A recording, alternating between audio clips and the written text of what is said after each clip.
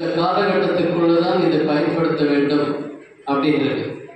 அந்த காலத்தை மீ- தாண்டி போயிடுச்சுன்னா என்ன ஆகும் சாப்பிட்டீங்கன்னா அவ்வளோதான் மயக்கம் போட்டு விழுந்துருவீங்க.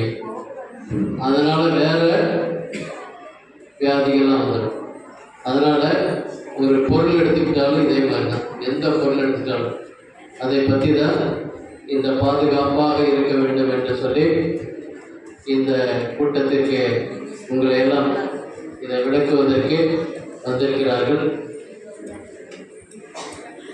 அவர்களை மீண்டும் ஒரு முறை